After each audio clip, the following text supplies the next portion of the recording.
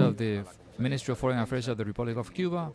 We are now going to begin the press conference of the Minister of Foreign Affairs, Bruno Rodriguez Parrillas, in connection with the terrorist attack perpetrated against our embassy in the United States last 30th of April.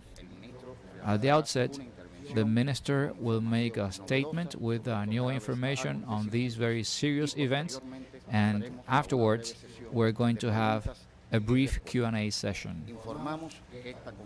Would like to inform that this uh, is an online virtual conference as we observe health measures established in order to uh, fight uh, COVID-19.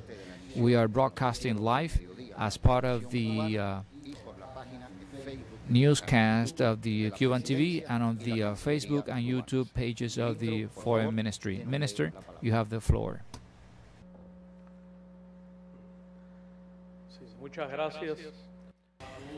Thank you very much to all those who, from their respective homes, are following this uh, press conference in Cuba or in other countries. And I reiterate the suggestion please stay at home. As our people know, on April 30 last at 2 5 in the early hours of morning, there was a shooting attack perpetrated against the Cuban embassy in the United States. The author of the attack was Alexander Alazo Baro, whose picture can be seen on the screen, a citizen of Cuban origin living in the United States since 2010. We have recognized the professional and rapid response by the local law enforcement forces and the Secret Service at the moment of the attack.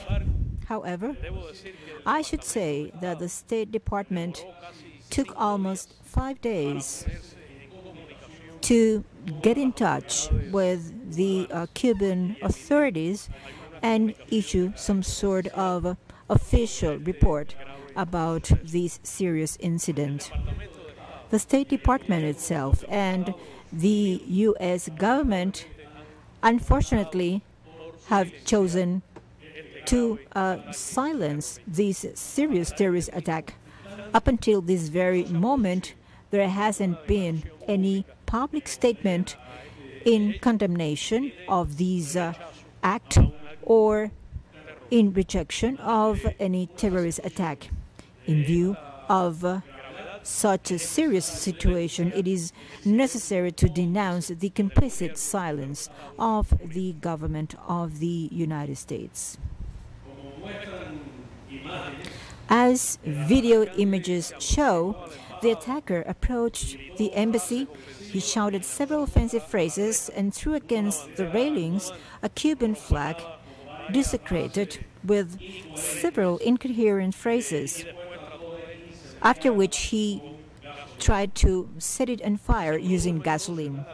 There was also a shooting attack, as you can see, against an embassy located in downtown Washington, D.C., a few blocks away from the White House, with the use of a semi automatic assault rifle by an individual who traveled from the state of uh, Pennsylvania carrying the firearm and its rounds.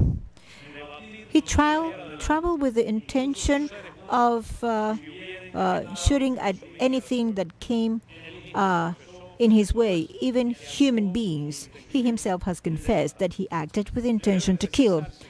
It should be pointed out that at the time of the attack and the shooting, because he shot 32 rounds, there were 10 Cuban officials inside the embassy building that was being under attack. It is necessary to ask the U.S. government what are the reasons for uh, its silence and keep this issue away from the public opinion against of uh, instead of sending uh, a deterring uh, message as corresponds to its obligation as the uh, the venue of uh, diplomatic missions. This is a terrorist action committed against our uh, diplomatic mission in Washington that cannot be uh, be seen as as a separate issue, but as a re result of the aggressive policy and discourse of the government of the United States against Cuba, the hatred uh, speech and the permanent instigation to violence by U.S. Uh, politicians and extremist groups anti-Cuban extremist groups who have turned these sort of attacks into a way of life. It is known that Alaso Baro planned the attack with enough time beforehand that he visited the crime scene prior to the attack for exploratory purposes, and this happened around two weeks before the attack. At the moment of the attack, he declared himself as a follower of the current U.S. president. You already saw the signs desecrating the Cuban flag and wrapped himself up with the flag of the U.S. He didn't put up any resistance when he was arrested, as you uh, have just seen in the video images. In the uh, legal documents, uh, available to the public, it is stated that according to his wife, Alaso Baro visited a hospital where he certainly expressed his uh, persecution delirious uh, thinkings by uh, allegedly uh, criminal Cuban groups and afterwards he visited the offices of several law enforcement uh, offices or uh, national security U.S. offices to uh, level accusations against our government and denounce that the Cuban government was allegedly intending intended to kill him.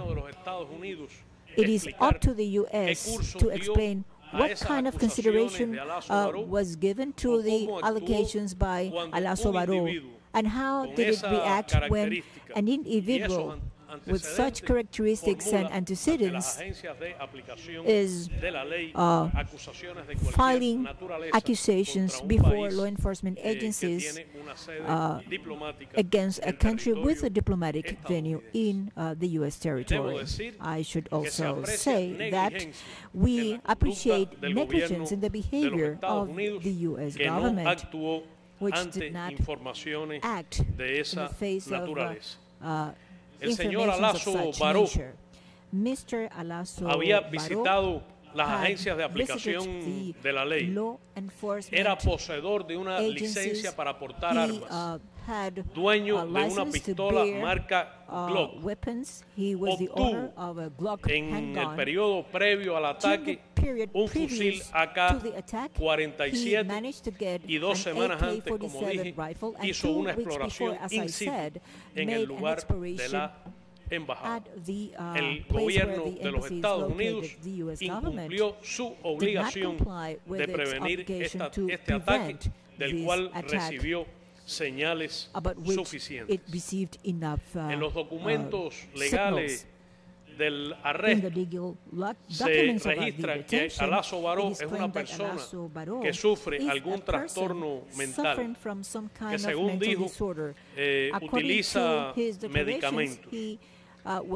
Sin embargo, también en el propio documento del gobierno de los Estados Unidos se recoge que se encontró en su auto un paquete de polvo blanco que resultó ser cocaína. Es sabido que Alaso Baró tenía dificultades económicas, había perdido un pequeño negocio y no tenía empleo en el momento del ataque. Según declaró su esposa, ellos han transitado eh, por periodos en que no han tenido siquiera vivienda, lo que los ha obligado a vivir en el auto. Sin embargo, como ya dije, es una persona que tenía licencia para armas y licencia de conducir. ¿Cómo pudo haber permitido el gobierno de los Estados Unidos, disponiendo evidentemente de estos antecedentes, que esta persona actuara de esa manera premeditada, con ánimo de agresión y de matar. Corresponde al gobierno de los Estados Unidos también realizar una investigación exhaustiva a fondo que permita determinar de dónde salió el dinero utilizado. Según documentos legales, Alazo Baró actuó motivado por odio a Cuba y por temor a agresiones de supuestos grupos criminales cubanos que todo el mundo sabe que no existen. Es sabido que en Cuba no hay organizaciones criminales ni crimen organizado. Esto lo sabe el gobierno de los Estados Unidos y todo el mundo. Debo informar que Alazo Baró, en su infancia y juventud, y mientras vivió en Cuba, mantuvo una conducta social totalmente normal, con inclinaciones religiosas, y en su etapa profesional se dedicó a la labor pastoral. Cumplió de manera normal el servicio militar general sin ninguna dificultad o suceso relevante alguno. En el año 2003, Alazo Baró viajó a México con una visa religiosa para asentarse allí, habiéndose casado antes con una ciudadana mexicana de similar vocación. Residió en México durante varios años y mantuvo una relación normal con Cuba. Viajó a nuestro país en ocho ocasiones, la última vez en el año 2015. Una relación como la que tienen con Cuba los cubanos que residen de manera permanente en el exterior. Hay que recordar que en años normales, antes de las medidas de recrudecimiento del bloqueo, y restricción de los viajes de cubanos a Cuba, nuestro país era visitado por más de 600 mil cubanos anualmente. De manera que dentro de las relaciones normales que tiene el país con los cubanos que residen en el exterior, dentro de sus propósitos de reunificación familiar, eh, facilitación de los viajes y del derecho a viajar, Alazo Baró visitó frecuentemente nuestro país, la última vez en el año 2015. Debo decir que durante su periodo en el exterior también tuvo contacto regular y recibió servicios consulares de manera normal por parte de nuestras oficinas.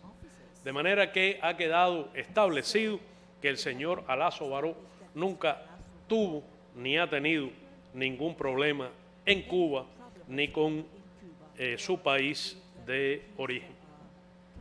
Hay que preguntarse, y hay que preguntar al gobierno de los Estados Unidos, cómo un individuo con una conducta normal, religiosa, pacífica, se transforma en alguien con problemas mentales que con escasos recursos económicos se hace poseedor de un fusil de asalto se traslada, viaja de un estado a otro de la Unión y se lanza a cometer una agresión armada contra una sede diplomática en la capital de esa nación.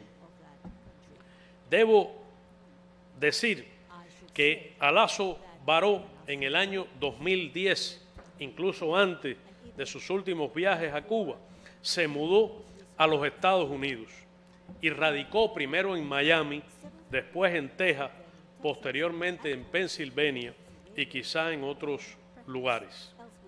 Pero es obligación del gobierno de los Estados Unidos investigar a fondo, con precisión, cuáles son los vínculos, las conexiones de Alazo Baró con grupos e individuos dentro de los Estados Unidos con una trayectoria conocida de manifestaciones de odio y de instigación a la violencia o incluso al terrorismo contra Cuba.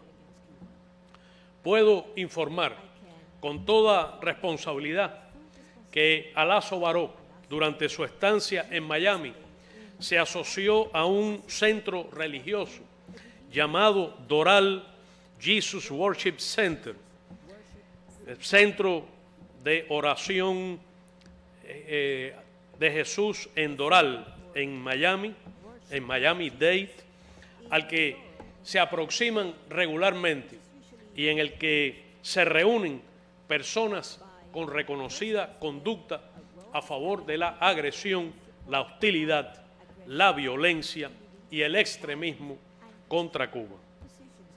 En ese centro entró en contacto Alazo Baró con esta persona que es el pastor Frank López, al que eh, mantenía un constante eh, seguimiento permanente en Facebook. El pastor López es un individuo que mantiene estrechas relaciones con personas como el senador Marco Rubio, con un venezolano que es el que acaban de ver llamado Carlos Vecchio y con otras figuras de conocido extremismo contra Cuba y promotores de la agresión a nuestro país, incluido el congresista Díaz Balar. El vicepresidente de los Estados Unidos, curiosamente, visitó hace poco tiempo esa iglesia. El primero de febrero de 2019, antes había pronunciado allí un discurso de franca hostilidad contra Cuba, de desprecio hacia América Latina y amenazas a la región. Entre las personas con quienes Alazo Baró se asoció estrechamente en esa iglesia está el ciudadano de origen cubano llamado Leandro Pérez, quien en su propio perfil de Facebook, que están viendo o han visto, se declara como amigo cercano del tirador, a quien dice conocer y apreciar.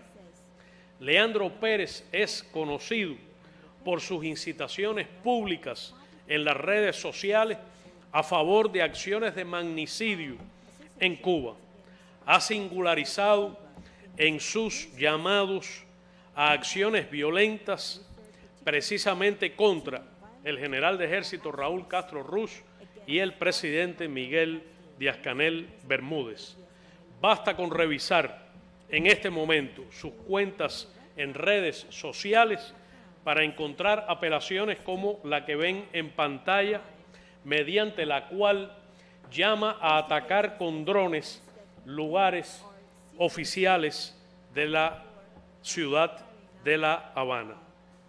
El 5 de febrero de este año usó Facebook para intentar amenazar a Cuba con tener listos drones que se utilizarían para agredirnos.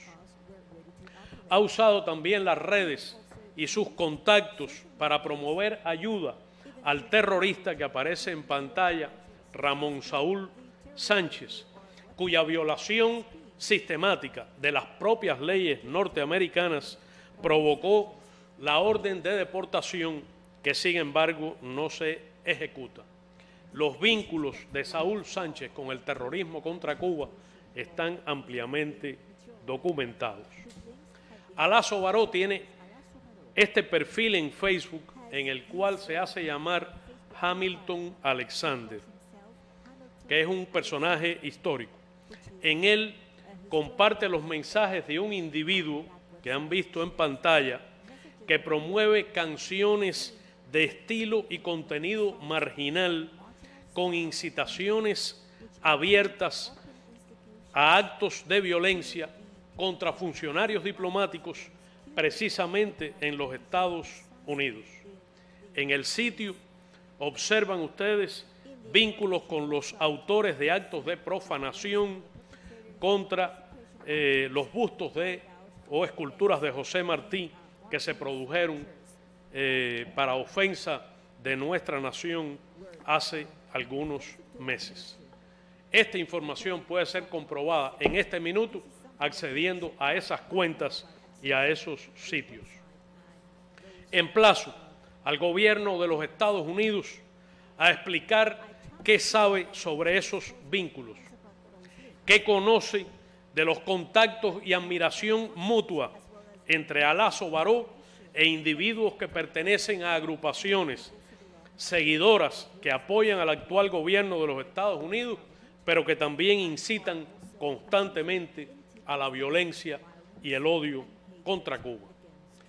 Es obligación del gobierno de los Estados Unidos aclarar qué influencia ejerció en la conducta de Alazo Baró el sentimiento y la acción agresiva contra Cuba que se promueve en el Doral Jesus Worship Center de Miami.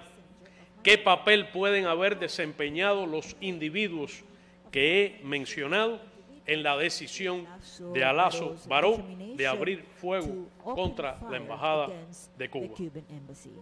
El silencio cómplice del gobierno de los Estados Unidos se torna sospechoso cuando se conoce que sus servicios de aplicación y cumplimiento de la ley tienen un monitoreo constante y preciso de los grupos violentos que actúan incluso contra Cuba en ese país e incluso se ufanan de ello. Hay derecho a preguntarle al señor secretario de Estado Mike Pompeo qué sabe él de estos asuntos, sobre todo cuando suele pronunciarse de manera constante con relación a Cuba, pero que sin embargo no ha dicho una palabra sobre el ataque ocurrido. Uh, es deplorable que el secretario de Estado, mientras mantiene silencio sobre el ataque terrorista, se haya pronunciado contra Cuba dedique pronunciamientos permanentes y casi diarios a atacar la cooperación médica internacional cubana y a calumniar a nuestros médicos que trabajan en otros países, incluso en medio de la pandemia de COVID-19.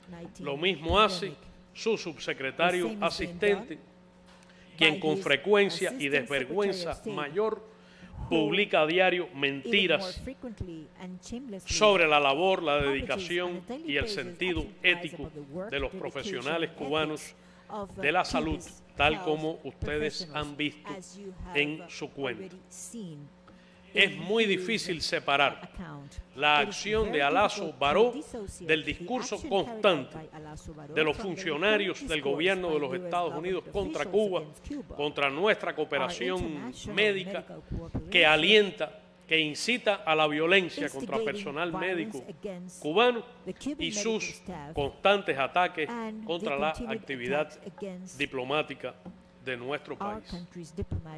Un gobierno que aplica una política genocida, que defiende como legítimo castigar a todo un pueblo que ha decidido ser libre, que aplica un bloqueo económico, comercial y financiero que tipifica, según la Convención contra el Crimen de Genocidio, como un acto de genocidio. Un gobierno que considera aceptable agredir a las familias cubanas. ¿Qué relación existe entre esas políticas y estos actos? Yo afirmo de manera directa que este ataque contra la Embajada de Cuba de naturaleza terrorista es un resultado directo de una política oficial de instigación al odio y a la violencia contra mi país. Quien escuche los pronunciamientos y falsedades constantes del Departamento de Estado y del propio secretario de Estado observará que hay constantemente una apelación al resentimiento y el odio a Cuba. Existen además evidencias de la participación de funcionarios del gobierno de los Estados Unidos en las acciones violentas que se produjeron contra los colaboradores de la salud cubanos en Bolivia durante el reciente golpe de Estado. En su momento se presentó evidencia fotográfica de la participación de operativos estadounidenses y vehículos con chapa diplomática norteamericana en acciones de hostigamiento y acoso contra médicos cubanos en La Paz. El que entienda que actúa en línea con la política agresiva y de hostilidad que pregona y practica constantemente el gobierno de los Estados Unidos puede sentirse alentado a cometer actos violentos. Quien crea que coincide con mensajes de odio y violencia contra Cuba que se promueven a diario en la radio, la televisión y las redes sociales de figuras oficiales y de grupos violentos desde territorio norteamericano puede asumir que cuenta con respaldo para cometer actos como el del 30 de abril. Si hubo odio en la actuación de Alaso Baró, puede afirmarse que es un odio inducido por el discurso agresivo del gobierno de los Estados Unidos, de los políticos y agrupaciones que viven de la hostilidad contra Cuba y resultado de la acción de promoción de la violencia que se realiza por diferentes grupos, en particular en Miami. El gobierno de Cuba espera por resultados de una investigación exhaustiva y a fondo de este ataque terrorista.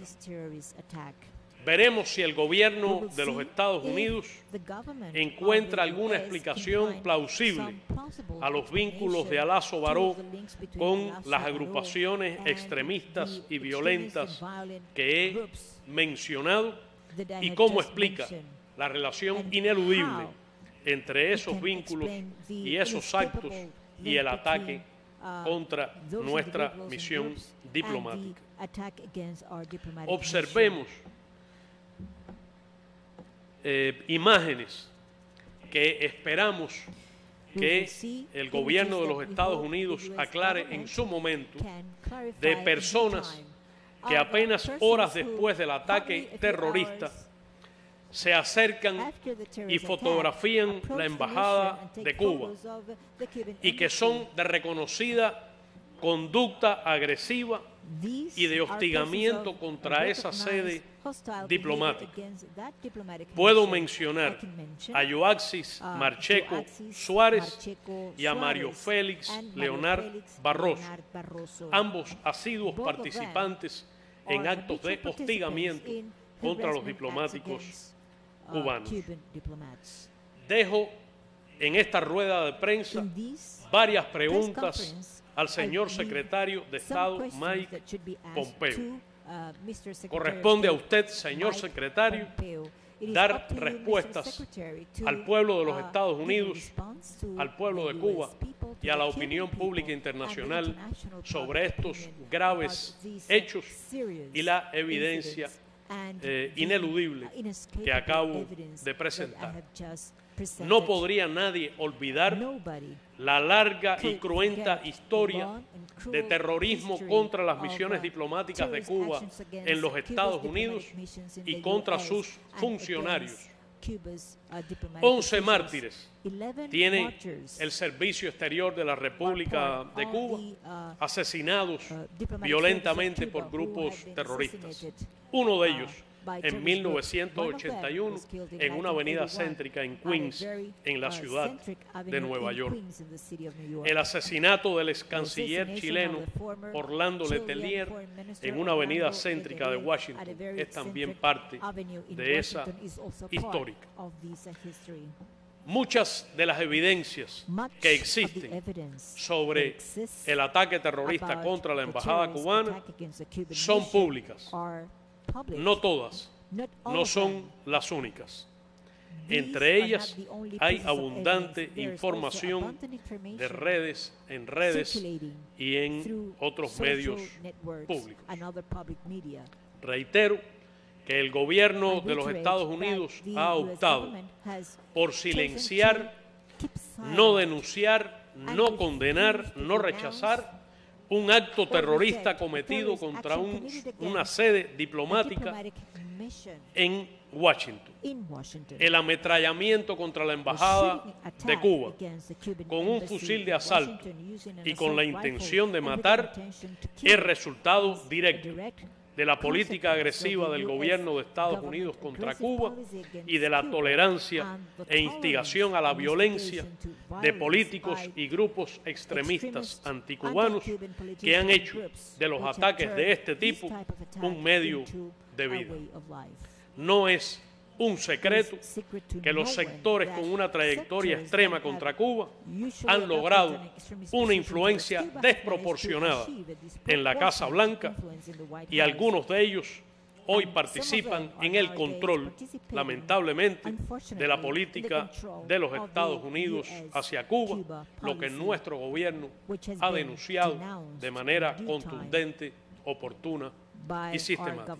Estos son los hechos alrededor del ataque y las causas profundas que uh, llevaron a esto, junto a la omisión del gobierno de Estados Unidos de condenar y denunciar y junto a su uh, negligencia criminal de no haber atendido los numerosos uh, datos que tuvo previamente y que le eh, pudieron haber permitido eh, evitar que este ataque terrorista se consumara. Muchas gracias. Bien, ministro, eh, tenemos una primera pregunta. La formula el diario The Washington Post. La pregunta es la siguiente. ¿Está usted satisfecho con la manera en que la policía local manejó el ataque?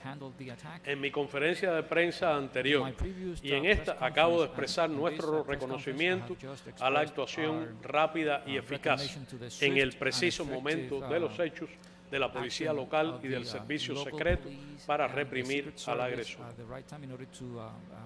Hemos recibido también, ministro, otra pregunta, en este caso el diario Granma.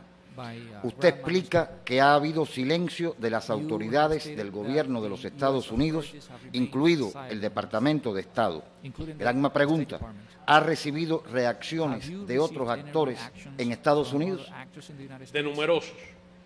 Eh, varios senadores y congresistas se han dirigido uh, a nuestro embajador, a nuestra embajada, eh, condenando lo ocurrido y expresando eh, solidaridad frente a un hecho de naturaleza terrorista como este. Um, Numerosos ciudadanos y ciudadanas norteamericanas han hecho lo mismo. Personal diplomático, es decir, diplomáticos, embajadores acreditados en Washington también. Desde numerosos países hemos recibido eh, uh, también mensajes de condena uh, y aliento en este sentido. Y debo decir también que numerosos cubanos residentes en distintos países, en particular en los Estados Unidos, en la Florida, en New Jersey, que son estados donde hay eh, importantes concentración de ellos, se han dirigido también a nuestra embajada para condenar este hecho.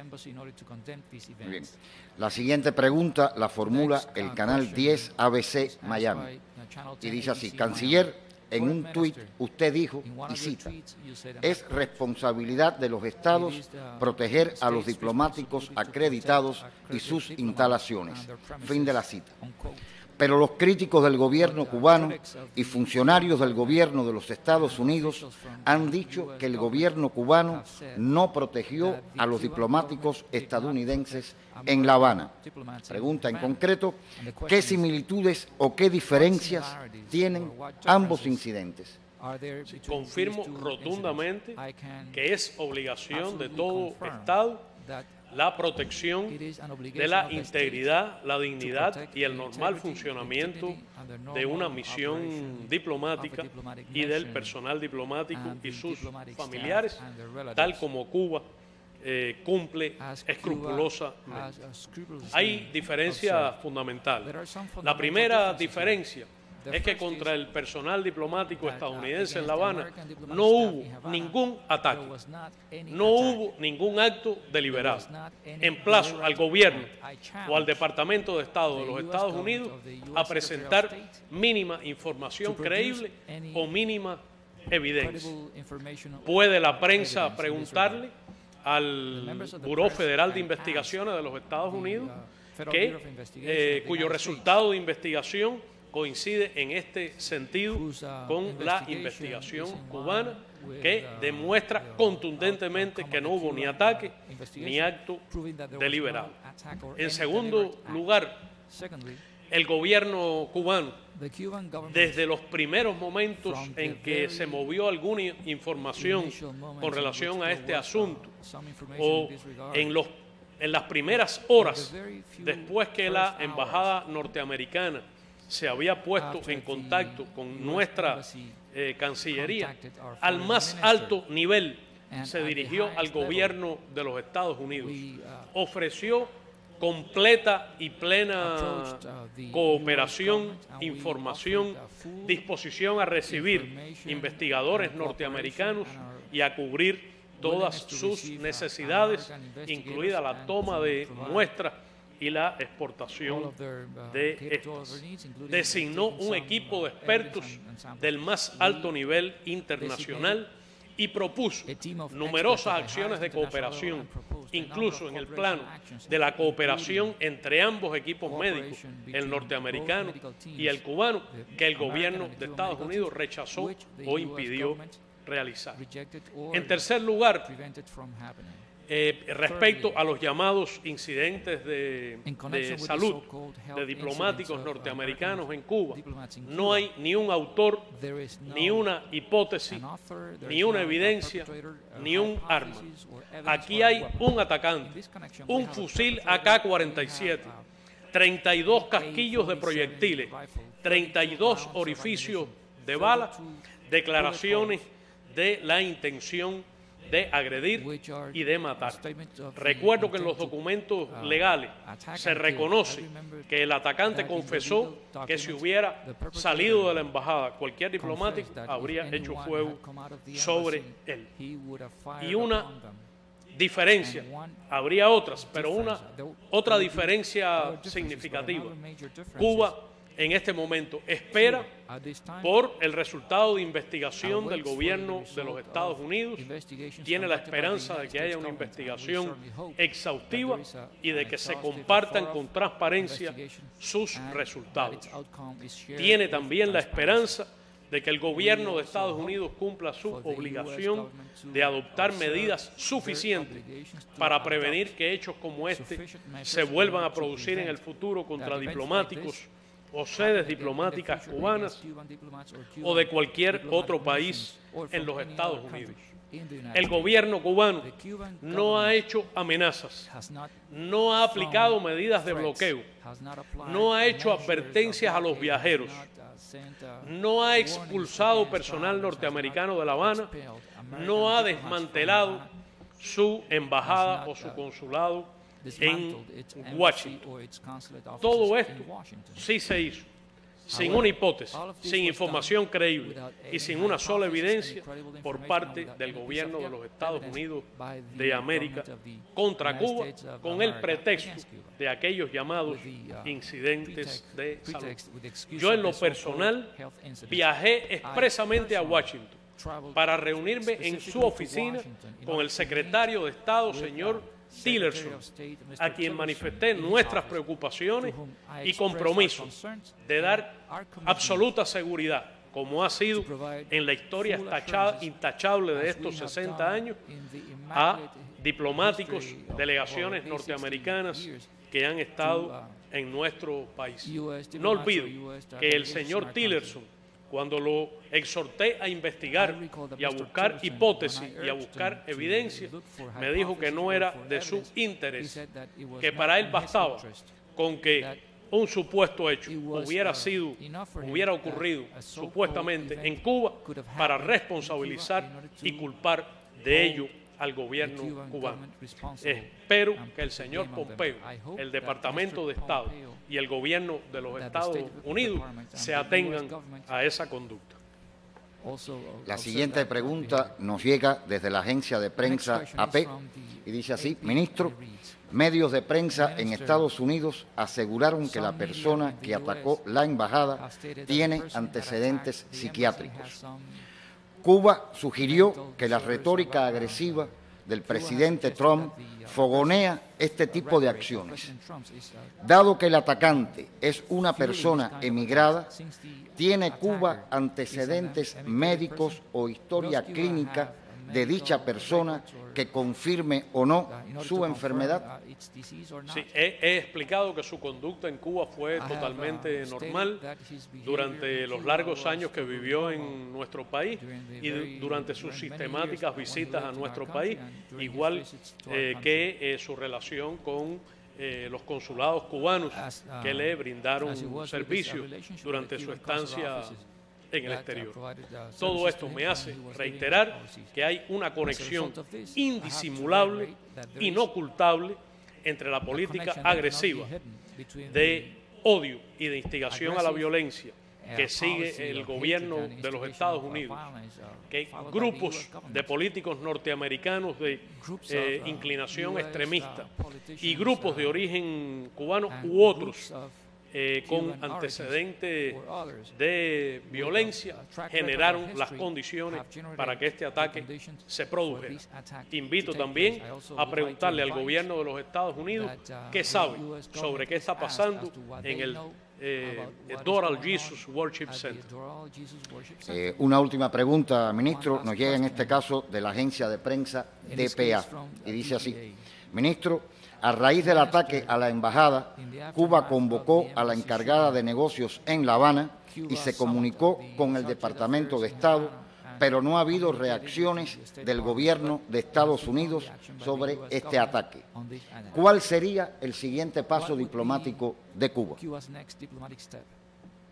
Esperamos porque el gobierno de los Estados Unidos cumpla sus obligaciones bajo tratados internacionales.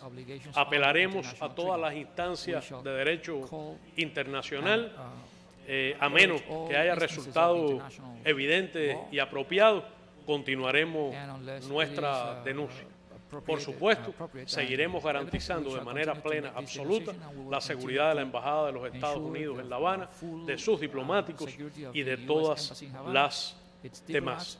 Tenemos la esperanza de que el gobierno de los Estados Unidos intente por lo menos hacer coincidir su retórica contra el terrorismo y su política de lucha contra el terrorismo internacional con sus responsabilidades ante, un ataque terrorista que se ha producido contra una misión diplomática en el centro de Washington. Muchas gracias. Muchas gracias. Muchas gracias, ministro. De esta forma, eh, damos por concluida la conferencia de prensa desde la sede del Ministerio de Relaciones Exteriores de la República de Cuba.